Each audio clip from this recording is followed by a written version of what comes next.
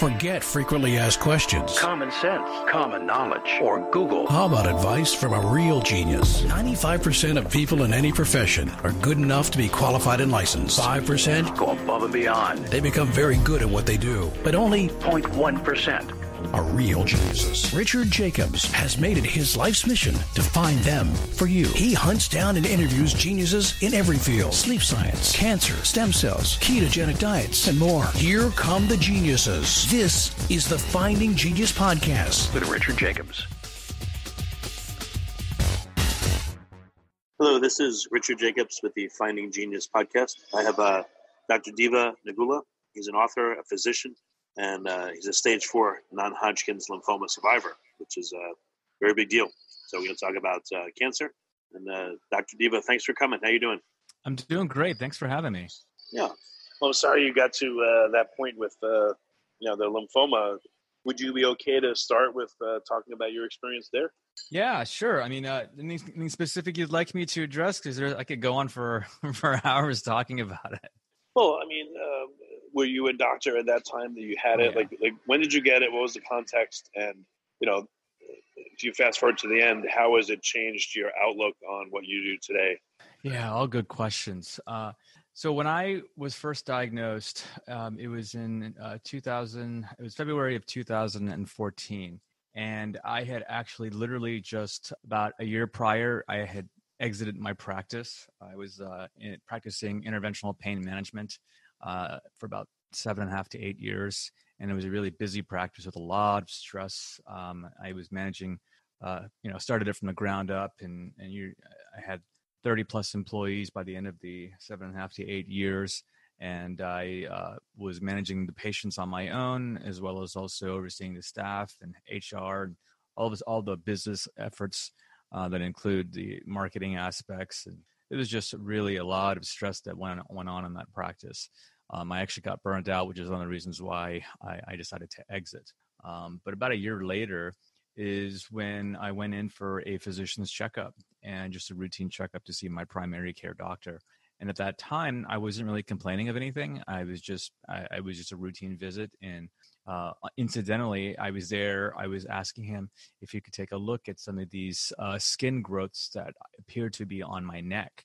And I called them growths because it literally was enlarged over a period of two to three weeks and I mean I'd felt it before, but um, I just I saw it on one side of my neck, and then I saw it on the other side of my neck, and I was like, "What the heck is this?" And it wasn't painful, so I wasn't feeling bad. So and it was to me, it was it was uh, evident that it was probably some sort of uh, a cyst that needed to be referred to a dermatologist or some sort of plastic surgeon to get it removed and and move on, and I'll be able to get on my way uh, the physician actually said, you know, let's take a deeper look. And he thought it was my lymph nodes that were actually enlarged, and he wanted to get uh, a detailed scan of the of the uh, uh, of the neck, and uh, the imaging studies would, would detail uh, what exactly was enlarged and what was going on in that area.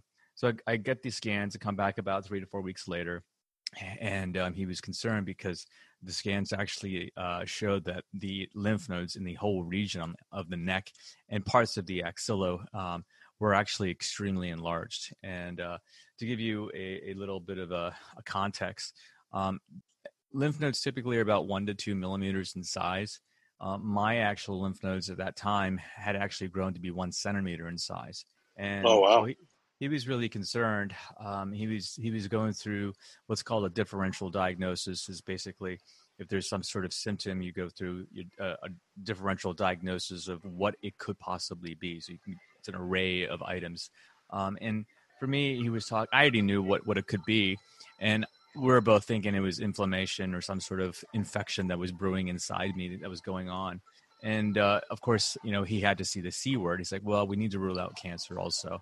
Um, and the best next thing was to go to an oncologist. And I, I, I was reluctant because I didn't want to go to an oncologist, and, and I didn't feel it was necessary since my blood work was normal. Um, I was feeling fine, had tons of energy, and I was I just gotten married, and I was ready to really just move forward with my life and, and start a family. That's what I was looking to anticipate doing. So begrudgingly, I went to the oncologist's office, and he saw me. He's like, "Yeah, let's get some tests." So he ran a battery of tests. So I had to get a lymph node biopsy, a bone marrow biopsy, more blood work, um, more scans, And then finally, I came back to him, and about two or three weeks later, he delivered the news that I had non-stage four, non-Hodgkin's lymphoma, and then it was stage four. And it was really a shock to me because I couldn't figure out how in the heck that could happen. And yeah, it's horrible. In my mind, I was like, "How did I have this?" I mean, I don't have. A, I mean, even though I, I was a physician at the time and I am a physician now, it's not like I knew everything about um, uh, uh, cancer and oncology was not my my practice and, and so I we might have grazed it in, in med school and I might have had a little rotation for a few weeks in in the oncology field but I didn't know what the cause of, of non-Hodgkin's lymphoma was I didn't know how to treat it and this guy was was a, a private practitioner and he was saying that I needed to start chemotherapy right away and I was just took it by surprise and I was like, you know, we uh, let me just do some research and figure out uh, what is the cause of this and what I can do. If there's any other options besides chemotherapy, I'd like to pursue that. And I, of course, I wanted to get a second opinion. Um, I went to two different physicians at academic institutions. I went to Sloan Kettering up in New York. I went to Mayo Clinic in, in Jacksonville and um, both were they said that I didn't have to start chemotherapy right away, and the main reason why was I was fairly young, and secondly, I, I wasn't displaying any symptoms um, other than the enlarged lymph nodes. I wasn't lose, I didn't hadn't lost weight. Um, I didn't, I wasn't going in in some sort of organ failure. Um, the lymph nodes weren't enlarged and encroaching on a vital organ, compromising that organ. So it was all it, for me. It was it was I was it was best course of action to follow what's called a watch and wait period. And a watch and wait is exactly what it is. You're just basically watching to see if, if the cancer actually grows or it regresses. And at that time, I, I dove into the books. I did a lot of research, and I was taught. I was thinking to myself, I'm going to figure out how to regress this. There's got to be a way, and if there is a way, I'm going to look into it and and and do it. And so I researched and and I, I tried a, lot of different things, uh, which I'll get into later. But um, about six months into the watch and wait, you know, I was trying, I had changed my diet. I started some supplementation. I restarted some exercise. Um, I, I was just trying everything to, to do. I was also trying to reduce my stress. I wasn't working at the time, so I could implement these strategies and, and figure out what could work, what wouldn't work. Um, and six months into it, I had developed this awful back pain. And um, it was like in my flank area, radiating into my groin. Oh, and oh, no. I was thinking to myself, okay, I've diagnosed this a hundred times. It must be some sort of uh, a kidney stone. And the reason why I was thinking that is because cancer cells have a high turnover rate, and when they do, it increases the amount of calcium, which is a composition of, a, of kidney stones. And so I was thinking, okay, this is what's going on. Let me go and call the oncologist. I was supposed to get scans anyway a week later, um, but he, he, said, let's go ahead and get it now. And when I got the scans, um, it really showed a progression of the disease. The one to two centimeters in size of the enlarged lymph nodes was no longer discernible. You couldn't see the lymph nodes anymore. It kind of coalesced into this huge mass. And the mass was just gigantic. And it was not just one mass, it was just masses. So all the lymph nodes in my body had just grown and they just kind of combined together and formed this huge mass all over my body, my stomach, my kidneys, um, you know, my, my groin area. It was just, just these huge chunks all over the place and, I have a quick I have a quick question at this point. Yeah. Um, for people that had your condition, have your condition, uh, what's the you know if they get chemo and resect some of the lymph nodes, et cetera, what's the uh, survivability? Well, that's a good question, and, and, it's, and it, the answer is kind of variable depending on your age bracket, depending on the stage it's in. Um, you know, at the time and when I had, was diagnosed, the um, they were talking about you know there was a seventy five percent um, uh, survival rate. Um, that was in my age group. You know, if it was actually someone who was older, it would have been of a less it would have been a much lower percentage. Um, but because it was and and this was before chemo was even started so they were pretty um, optimistic that i had some fairly good chances simply because i was young. But the stage four and the spread uh, to my bone marrow and the spread all over didn't really give me chances. So it was all at that time it was really all about the medicines. So um, but for me it, it, was a it was you know it was it was literally i was i was scared at the time because of the growth and the, and then the reason why i was having so much back pain was because the the lymph nodes was pushing against my kidney and that's what was causing me to have this discomfort Well, Um, another so- question here is how did you handle you changed your diet, you did a lot of things right. For those six months, mentally what did you do? Because Yeah. you know, the, I'm sure the fear was eating at you constantly. Like what what did you do there? you know and that was the thing i i kind of really remained optimistic um i i felt that this was an opportunity that was given to me by god and that i had an i had a very good chance because i have i had this watch and wait period i felt that it was my opportunity to really change my lifestyle in a pro in a in a, in a, in a positive way because i had such a poor lifestyle before the diagnosis which led to the diagnosis of cancer. So i really felt it was it was an opportunity to change my ways. And then also um, if by being successful i could go ahead and teach this these these uh, implementation strategy implementation to my other people. That was my goal and that was my mind that was thinking so i wasn't really scared again. It was more like I, i'm this is i had a goal. I had i had this is what i had to accomplish and i needed to do this um, uh, successfully. And that's how I've, I've always been in my life. If i set a target set a bar, set a bar and raise the bar i would you know i would have to meet it. That was just kind of how i was always raised and, and i grew up and and part of the reason why probably I was always stressed out because I always had to be successful and, and either do things correctly and meet the expectations that I set myself for. Um, So, So, what, yeah. what happened then once you got this new scans and it was worse? Then what? well, be, yeah, because of the growth and because it was it was encroaching on an organ, um, they they highly recommended that I start chemotherapy right away. So um, within the next one to two weeks, um, I had start I, I was enrolled in chemotherapy. Uh, the chemo regimen consisted of um, one and a half days of infusions per month, and it was a first day was eight hours, and the second day was a four to six hour infusion. Um, and it was monthly. It was going to be six cycles in all. And after the six cycles, they would redo uh, the uh, scans to see where I was, um, if I was in remission, or if the cancer needed to be treated with some other medicines. Jeez, that's um. I've heard of protocols where it's you know once or twice a week, but eight hours and then four. That's seems intense. What was that? Uh, I don't know if you want to think about it. What was that like? I mean, honestly, the, the the chemo itself was really not an issue. I mean, it wasn't uncomfortable. It wasn't painful. Um, it, it was um, it, the medicine took a cumulative effect. It, it just it did its thing the first day, and then but over time, after each successive uh, treatment, I just felt myself getting weaker and weaker, and had no energy. Was extremely lethargic. This particular regimen didn't cause me to lose my hair. Um, and fortunately you know the nausea wasn't that bad i was able to tolerate the nausea um and but really it was the fatigue i remember one day i went to um go to the mailbox to get the mail and between my front door and the mailbox we're talking maybe about 20 yards um, maybe less than that and so i literally walked down there and i i remember opening the mailbox and i was like why am i so tired? and i literally had to like take one to two minutes to catch my breath to get my heart rate to just slow down um, before I could go make that trek back to the front door. And um, at that time, I, I was it, it was probably within uh, the second month or maybe the two and a half months into my my treatment. Um, so I it was just taking a huge toll on my body. I was sleeping a lot. I mean, the one good thing about it, if you want to call it a good thing, I was sleeping a solid eight to nine hours a day. Um, before that, I, I was not having any type of quality of sleep. Um, you know, when I was working, you know, three hours here, uh, broken sleep, another two hours there. It, it was just horrible. Um, but yeah, that was that was that was the um, uh, the process for me. Um, and uh, So, um, so what? What then? What What did yeah. you do then?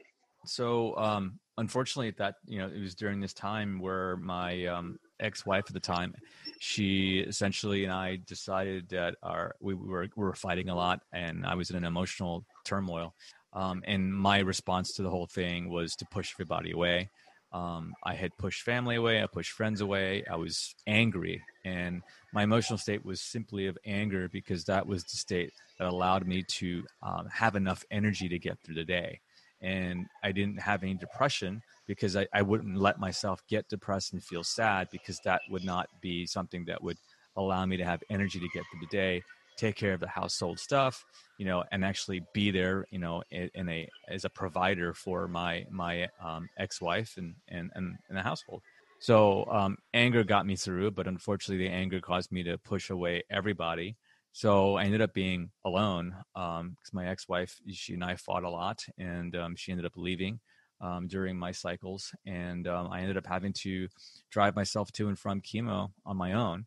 Um, and uh, it, it, was it was taking a toll in that sense, both mentally and physically.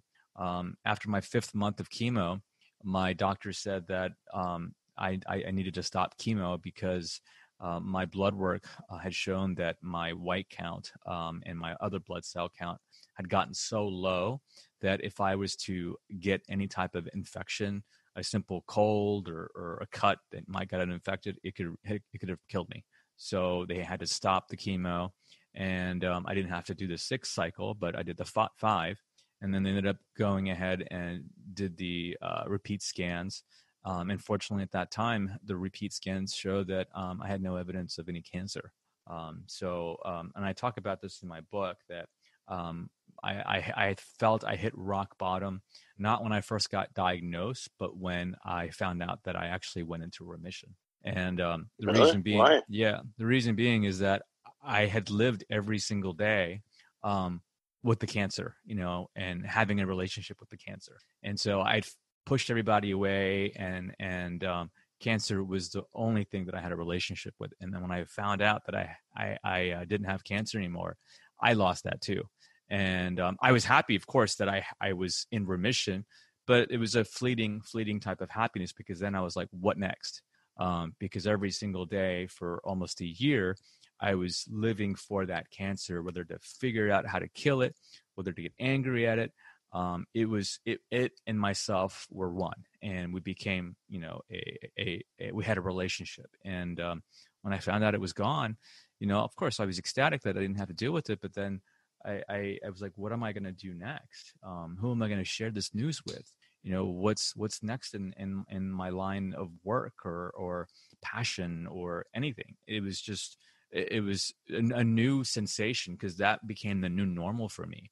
Um, I don't remember what the old normal was like because the whole cancer became the new normal, and it was what I was living for um, and living with every single day of my life. If you like this podcast, please click the link in the description to subscribe and review us on iTunes. Yeah, that's interesting. It's strange that you would feel like that, but you know, it is what you felt, so it makes it makes sense. What um then what what what was your progression to today? Well, at that time, it was um, um, I, I, was actually I started to get motivated to um, to fight this thing, uh, to figure out how to stay in remission. And um, um, it, it, the spark came when I actually ran into my trainer um, at a parking lot at a grocery store, and he was basically asking me how I was doing, and he was asking me if I if my body was ready or if I had the the go ahead to start working out again. And um, it was it was awesome because at that time that's what I needed. I needed not only the connection with another human being, I needed the camaraderie of, of a buddy. I also needed to work out and and and also get those uh, feel good endorphins in my body circulating, get out of the depression. I needed to change my body because my body had just become so weak and lethargic, and I didn't like the way I was looking. So it was a spark for me, and it was I, I really credit a lot of my changes and my motivation um, to to my trainer who I ran into in that workout regimen. We used to have and fun together and work out, and um, that's what sparked my my um, my change. Um, that's when I needed to figure out and, and really go into into more detail and find out every strategy that I needed to to maintain myself in remission. And uh, I knew it wasn't going to be a one type of strategy. Of course, I used a lot of the strategies that I used before when I was first diagnosed. I did even though they didn't work, I felt that it was probably because I was um, late in the diagnosis with the stage four, and there was no way to really uh, objectify what I was doing if it was causing me to have a any impact because I was not getting a weekly CAT scan or a week or weekly blood work. I do feel that it gave me six months. I probably, if I didn't implement those strategies, I probably would have had to start chemotherapy a lot sooner. Um, so yeah, that's what I was going to ask you: is, is knowing what you know now, do you think you could have staved off chemo for good or no? Probably not because of the advanced uh, uh, uh, cancer that it was. It was such an advanced stage and it was so widespread. Um, you know, I, I, probably would have given it more of a try in in terms of a different approach rather than really focusing on the diet and the exercise. I would have probably um, been more focusing on um, mindfulness um, and maybe some spiritual growth. um, which I later discovered um, were the tools that I needed to uh, employ to make to maintain myself in remission and healthy status. Yeah, well, why would mindfulness and uh, you know spirituality help you? Like, in what ways? Was it through meditation and just relaxing yourself, or can you yeah. use guided imagery you found to actually help your health? with you know? What are the particulars? Yeah, I mean, in the past, when I when I was in that watch and wait period, I didn't have any of those practices at all. So I didn't practice any mindfulness. I, so I, in a sense, I was still in a fight or flight mode. Um, the fight or flight mode was okay. I had this cancer, even though I didn't feel I was stressed out. I, am subconsciously, I probably was extremely stressed out. Um, the underlying, a lot of my problems that I had was that I was living a life of in fight or flight. I was always in that. That's what got me up in the morning. That's what got me through the day, and it's what got me through cancer and I didn't know that. Um, um, it wasn't until you know uh, maybe a few years ago when I had realized that my body was so accustomed to being in a state of fight or flight, I didn't even know how to breathe from my diaphragm. I was a chest breather, and uh, if you're in a state of fight or flight, if you have a mountain lion that's running down at you, you don't have the time to really react and, diaph- and breathe diaphragmatically because you're in that heightened state of awareness. You start chest breathing because it's more of an efficient way of, more of a quicker way of breathing. And so that's how I breathe all my life. Um, I feel, and I, I kind of figured out that I was born into this world in a state of fight or flight, and I've never really understood. I Felt I never learned the correct way of breathing and diaphragmatic breathing um, and, and uh, that actually serves two functions. One if you focus on the breathing it allows you to be more in the moment um, and you don't when you're in the moment you really don't think about your future you don't think about the past you're just focusing on the now. That in itself has a lot of healing uh, properties. Secondly um, it also reduces your state of fight or flight and puts you into a state of rest or digest. So being in fight or flight is is is appropriate. Your your your body is meant to do that, but it's a reaction that you have when it's appropriate. When you have a line that's actually running down, um, running down at you, um, it's not meant. Your body's not meant to be in a fight or flight by simply worrying about something. That's not um, a, a proper way of placing your body under a lot of stress.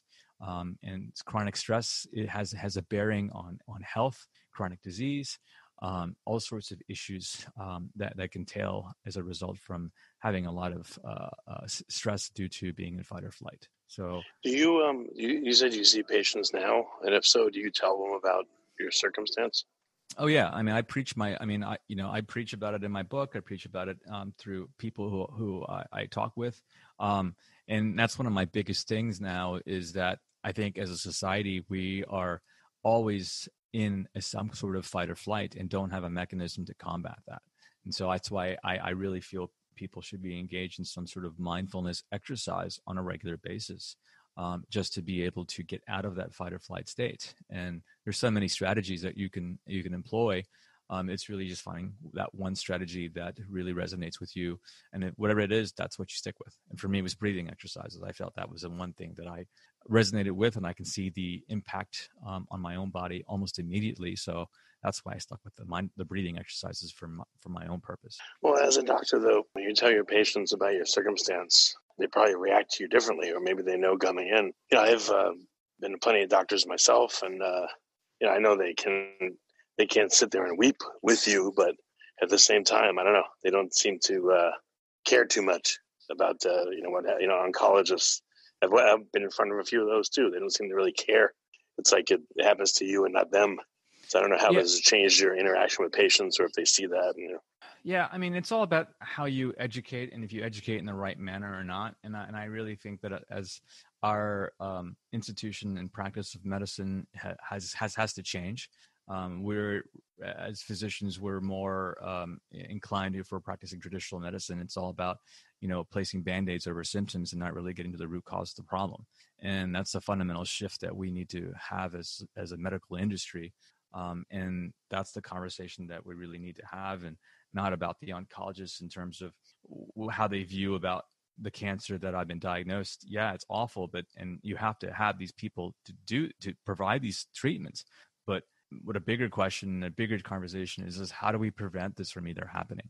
And that's all about what um, my book is all about is really, you know, trying to find means to prevent these issues, um, to, to really counteract the, the major problems that we're having in, in society with the high obesity rate, the high chronic disease rate, the, the toxic p- pollutions that we are seeing in our environment, the toxins that are in our food, the personal care products that have a lot of chemicals that all these compound together will, will, is causing the issues that we have in society and, and, and in, terms of our our, uh, our, our, physical and, and, and, medical outlook. So when um, patients come to you, what is some of your counsel that is, is common to almost everybody? What kinds of things can people do to improve their situation no matter where they're at? Yeah, so what I typically preach to people is if you really want to change change something that has the biggest impact, um, the one thing is is I would I would I, I would counsel them about their diet. Um, eliminating processed foods and, and sugary beverages is probably one of the things that could have a huge impact on their overall health. Um, switching to a organic based diet, um, that those two things in of itself um, eliminates so much garbage that's put into your body. Uh, the processed foods has so much excess calories and saturated fats and and other chemicals, and then if you're eating foods that are traditional instead of organic, you're putting in a lot of uh, chemicals that are put uh, that are placed on foods from herbicides and pesticides that have a, a, a horrible impact on on our body and uh, that is a, a, main thing that I, I, preach to people and it's it's one of those things that you really have to um, really in and that's where my example comes in um, when i talk about what happened to me and how I lived my life. And I was a physician. I didn't learn anything about nutrition in medical school. They don't teach us that.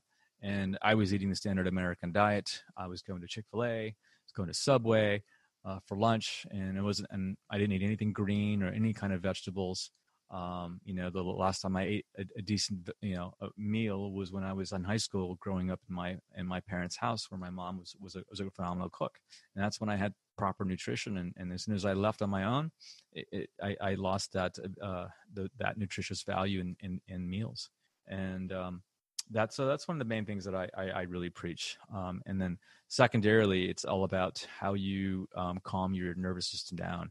You have to have a way of you know uh, trying to be in the moment um, and and practice some mindfulness, whether it's you know uh, yoga, you know tai chi, qigong, um, if that's not something that you're into, then then something like uh, meditation, uh, breathing exercises.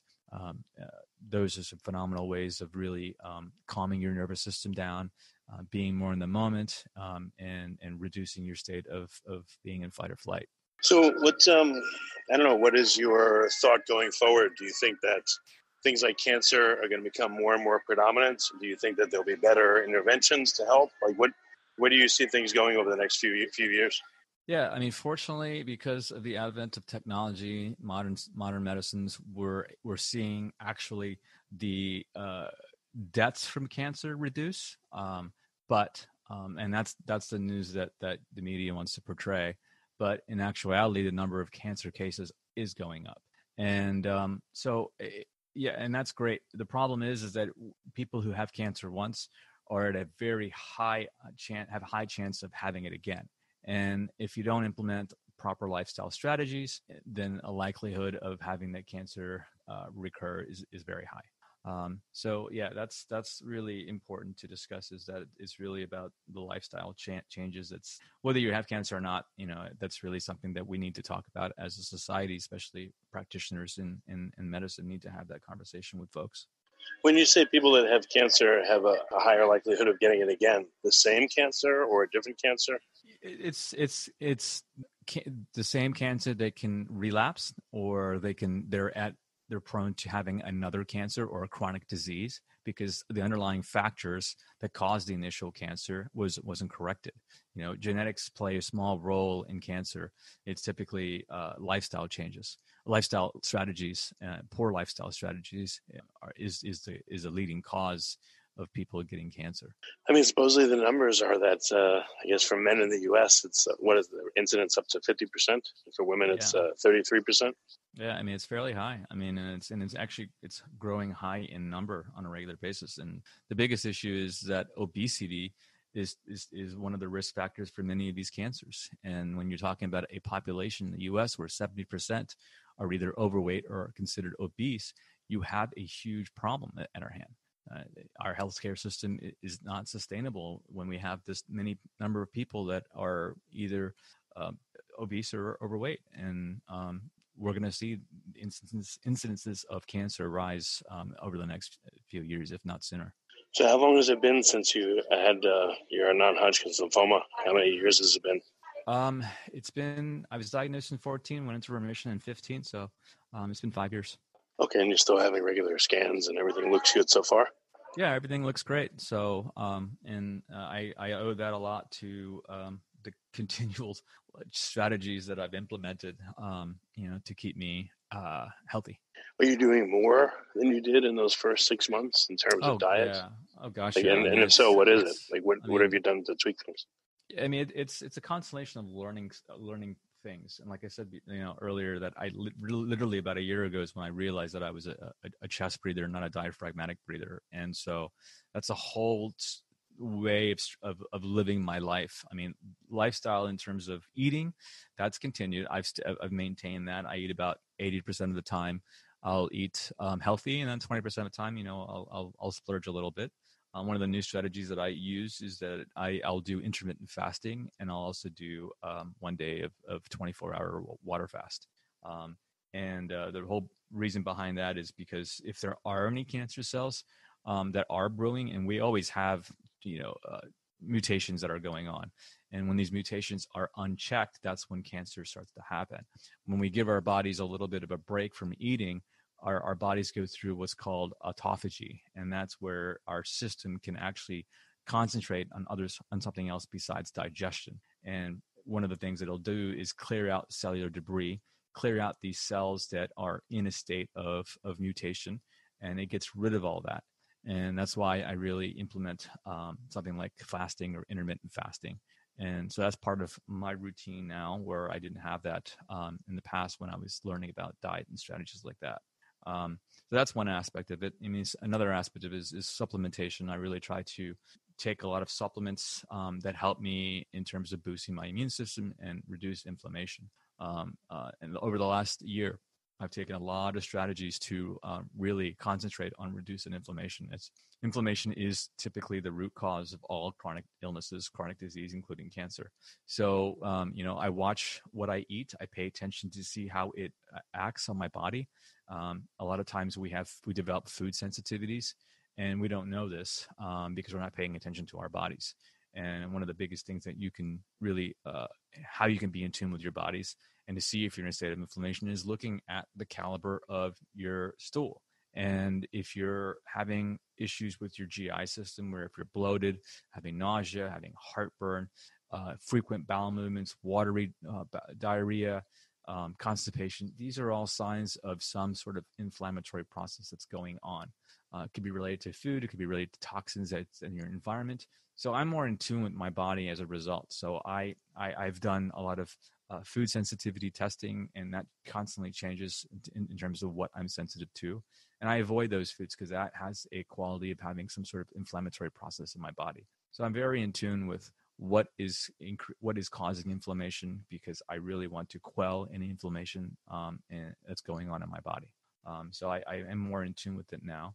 Um, and then other strategies that I use now is, is I'm really into um, strategies to keep myself in a keep myself out of fight or flight. And that's really a learning thing. That's a very hard thing because for you know 40 some years of being of, of thinking and being in a certain way it's really hard to change overnight. So it's a constant change. It's constant being awareness of of my heightened state and why am i in this heightened state and what's causing my what are the triggers?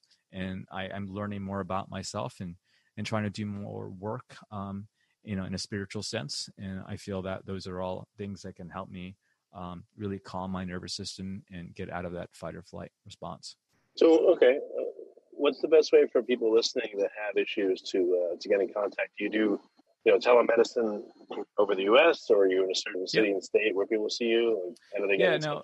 Everything is done online, so um, you can get in touch with me through my website from doctortopatient.com, and um, you, you can have you can have access to um, be able to purchase my book or listen to my podcast, which I release once a week. Um, or if you'd like to get into a consultation, I'm happy to um, to uh, be do a consult to do an initial consult and if it's a match we can take a little deep dive into your own personal um, uh, symptoms and you know find out some strategies that might be useful for you to uh, keep out of uh, chronic disease and, and, and cancer. Well, very good. Dr Nagula, thank you for coming on the podcast i appreciate it. Thank you for having me. If you like this podcast please click the link in the description to subscribe and review us on itunes. You've been listening to the Finding Genius podcast with Richard Jacobs.